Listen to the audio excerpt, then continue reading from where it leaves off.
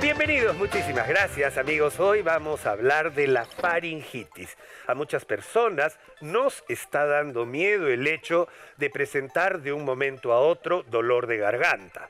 Ya hemos dicho en muchísimas oportunidades, itis, inflamación, faringo viene a ser una región que está a nivel de la garganta. Incluso la faringe se puede dividir en nasofaringe y orofaringe. La faringe puede llegar o llega más bien hasta la región nasal y termina a nivel de donde empiezan las cuerdas vocales que se llama la laringe. ¿De acuerdo? Una faringitis es una inflamación de la garganta. Esta inflamación de la garganta es sumamente frecuente. Hay que recordar que nuestro medio de contacto con el exterior es la boca. Nosotros respiramos, nariz y boca por supuesto, nosotros respiramos y estamos recibiendo agentes agresores. ¿Quiénes pueden ser estos agentes agresores? En primer lugar, por ejemplo, el clima. Si uno sale de un lugar caliente y de pronto y bruscamente respira aire frío, ese está siendo un agresor para nuestra faringe que está acostumbrada a una temperatura. Por eso la nariz tiene algunos pelitos, algunas zonas especiales para ir calentando el aire que va a ingresar a la faringe. Entonces, respirar con la boca abierta, roncar durante la noche, lo que hace es que uno esté más predispuesto a los agentes agresores del medio ambiente. Otro agente agresor, el polvo, las partículas en suspensión, el smog, incluso algunos olores o algunas sustancias cáusticas que pudieran estar en el ambiente pueden generar una faringitis. Entonces, al ser la boca nuestro medio de contacto, es frecuente que a uno se le pueda inflamar la faringe personas que han estado, por ejemplo, en una fiesta al costado de un parlante y han estado gritando toda la noche, tomando hielo, fumando de repente, esas personas al día siguiente pueden sufrir de faringitis. Y vamos a ver que existen varios tipos de faringitis, puramente inflamatoria como ese caso, pero también existen por otros agentes agresores. Los tipos de faringitis pueden ser viral o bacteriano, pero ahora vamos a entrar a qué, corresponde la orofaringe. Nosotros tenemos el paladar blando que está terminando en la famosa úvula. Y acá vemos como el tamaño normal de la úvula, que llega hasta acá, y acá vemos un tono mucho más oscuro, más enrojecido y una úvula mucho más alargada que la del otro lado. Luego tenemos la amígdala. Y la amígdala está ahí por algo. ¿Por qué está ahí? Porque como decimos, nuestro medio de contacto con el exterior es la boca y la nariz. Las amígdalas son órganos, unos organelas, unos órganos linfoides que nos dan inmunidad para la orofaringe. Es decir, acá estos órganos al ser órganos linfoides que tienen anticuerpos nos ayudan a producir los anticuerpos para no infectarnos constantemente de la garganta. ¿De acuerdo?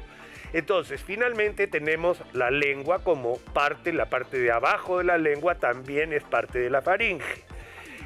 Y acá vemos la diferencia. Miren el tamaño de esta amígdala y miren el tamaño de esta amígdala. Miren el color.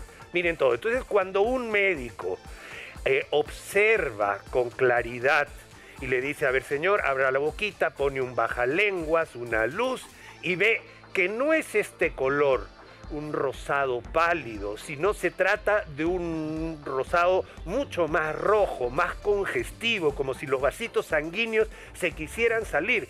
Estamos hablando de una inflamación. Inflamación que significa itis, faringitis, ¿de acuerdo? Y acá se ve también asociado que existen algunas manchitas blancas en las amígdalas. En este caso, esto sería una faringo amigdalitis. ¿De acuerdo? Entonces ahí es donde uno va ampliando esos conocimientos.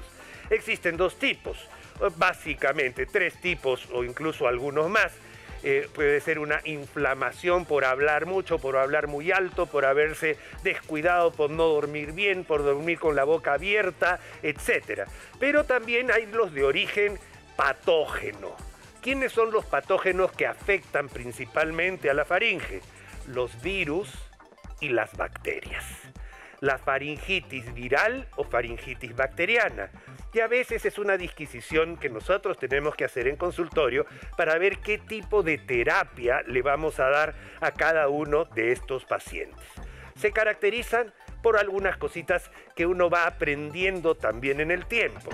La faringitis viral en principio no muestra signos de infección bacteriana hay una úvula inflamada, como hemos visto. La úvula es la campanilla que está en el paladar blando y esa campanilla aumenta de tamaño, es decir, se edematiza y se pone muchísimo más roja. La siguiente, hay algunas manchas blanquecinas, pero estas manchas blanquecinas no son acúmulos de pus.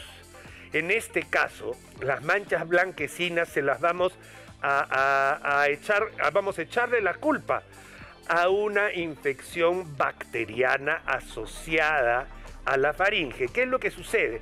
Que una faringitis viral puede terminar contaminándose con una bacteria y se asocian las dos faringitis, viral y bacteriana. Comienza como viral, pero al estar todo rojo, inflamado, se, se, vuelve un medio de cultivo ideal, un sitio como para que las bacterias que normalmente están por la zona tomen una amígdala, tomen algo en particular y generen una infección bacteriana. Vamos a seguir avanzando.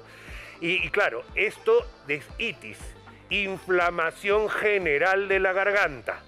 Y luego vamos a ir viendo más adelante, por favor, la lengua. Cuando hay una infección más de tipo bacteriana, la lengua se vuelve como si fuera aterciopelada con un poquito de vellosidades, más blanquecina. Hay una sensación como de una sustancia que está siendo drenada o generada por la inflamación. Esta, esta, secreción se pega en la base de la lengua, incluso puede generar mal olor. La siguiente, por favor. Hay un enrojecimiento, inflamación, aumento de volumen de las amígdalas y ahí es donde nosotros podemos considerar las famosas manchas blancas. ¿Cuáles son los síntomas?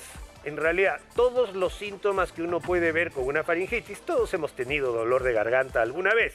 Solamente que ahora estamos preocupados porque puede ser los inicios de una infección viral más seria, incluido el COVID-19. Entonces, Molestia al deglutir, esto se llama disfagia, cuando uno tiene dolor de garganta, evidentemente va a tener molestias para comer, especialmente bocados grandes, bocados muy secos, pan, etc.